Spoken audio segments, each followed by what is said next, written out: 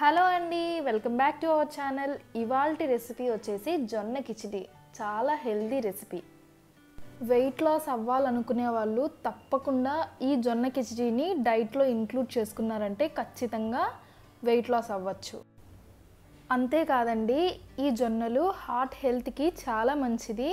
ఇంకా blood sugar levels కూడా కంట్రోల్గా ఉంచుతుంది. సో ఈ జొన్న కిచడీని తప్పకుండా మీ డైట్లో బ్రేక్ఫాస్ట్గా కానీ లంచ్గా కానీ ఇంక్లూడ్ చేసుకోవడానికి ట్రై చేయండి. మరి జొన్న కిచడీ ఎలా చేసుకోవాలో చూసేద్దాం. ముందుగా అరకప్పు దాకా పొట్టు ఉన్న పెసలు తీసుకోవాలి. ఈ పెసల్ని శుభ్రంగా కడిగి మళ్ళీ తిరిగి ఇందులో నీళ్ళు పోసేసి రాత్రంతా నాననివ్వాలి. అలాగే ఒక కప్పు వరకు జొన్న రవ్వ తీసుకొని దీన్ని కూడా శుభ్రంగా వాష్ చేసేసి మళ్ళీ తిరిగి ఇందులో వాటర్ యాడ్ చేసి రాత్రంతా నాననివ్వాలి. మీరు కనుక రాత్రి చేసుకోవాలి అనుకుంటే ఉదయాన్నే నానబెట్టుకుంటే సరిపోతుందండి. ఉదయం చేసుకోవాలి అనుకున్న వాళ్ళు రాత్రి నానబెడితే సరిపోతుంది. నానబెట్టుకున్న పెసలు ఇంకా జొన్న రవ్వ కూడా చక్కగా నానిపోయాయండి. జొన్నల్ని నానబెట్టకుండా డైరెక్ట్గా కుక్ చేయలేమండి. సో జొన్నల్ని ఎనిమిది గంటల పాటు ఖచ్చితంగా నానబెట్టుకోవాలి. ఇప్పుడు స్టవ్ మీద ఒక ప్యాన్ పెట్టుకొని అందులో త్రీ టేబుల్ స్పూన్ వరకు ఆయిల్ హీట్ చేసుకోవాలి. ఆయిల్ హీట్ అయిన తర్వాత వన్ టీ స్పూన్ వరకు జీలకర్ర వన్ టీ స్పూన్ వరకు ఆవాలు వేసి చిటపటలాన్నివ్వాలి తర్వాత ఇందులోనే రెండు పచ్చిమిర్చిని చీలికలుగా చేసుకొని ఇందులో యాడ్ చేసుకోవాలి. అలాగే ఒక మీడియం సైజ్ ఉల్లిపాయ ముక్కలుగా కట్ చేసుకొని వేసుకోవాలి. ఉల్లిపాయలు ఒక రెండు నిమిషాల పాటు ఫ్రై చేసుకోవాలి. ఉల్లిపాయలు కాస్త వేగిన తర్వాత ఇందులోనే ఓ రెమ్మ కరివేపాకు అలాగే ఒక క్యారెట్ని ముక్కలుగా కట్ చేసుకొని వేసుకోవాలి. తర్వాత ఇందులోనే ఒక మీడియం సైజ్ మునక్కాయని ఇలా చిన్న ముక్కలుగా కట్ చేసుకొని వేసుకోవాలి. మునక్కాయ స్కిప్ చేయొద్దు చాలా టేస్టీగా ఉంటుంది ఈ కిచడీలో. ఫైవ్ మినిట్స్ పాటు లో ఫ్లేమ్లోనే క్యారెట్స్ ఇంకా మునక్కాయ ముక్కలు రెండు ఫ్రై చేసుకోవాలి. ఇలా ఫ్రై చేస్తుండగానే ఇందులోనే one and half tablespoon వరకు సాల్ట్ కూడా యాడ్ చేసుకొని ఫ్రై చేసుకోవాలి.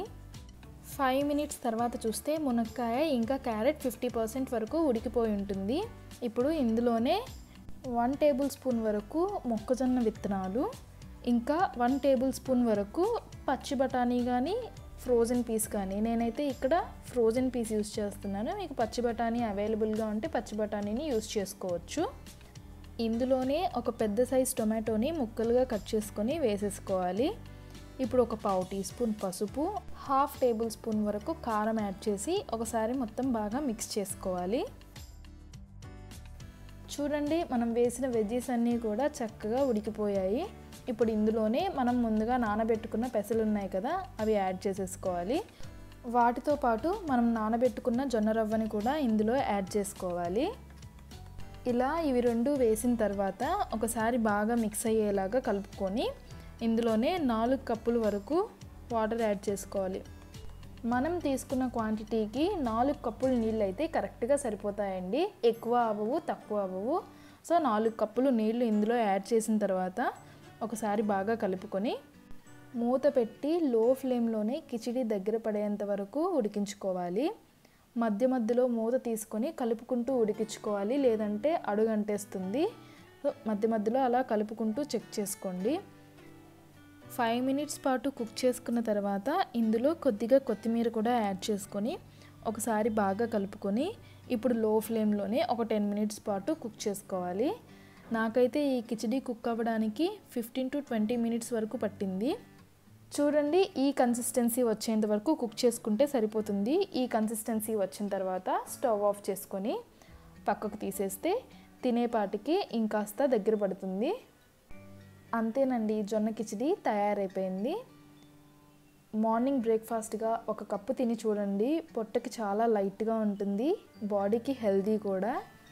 ఇంకా ఇష్టమున్న వాళ్ళు కొద్దిగా నెయ్యి కూడా యాడ్ చేసుకొని ఇంకా పైన కాస్త కొత్తిమీర చల్లుకొని తింటే చాలా బాగుంటుంది.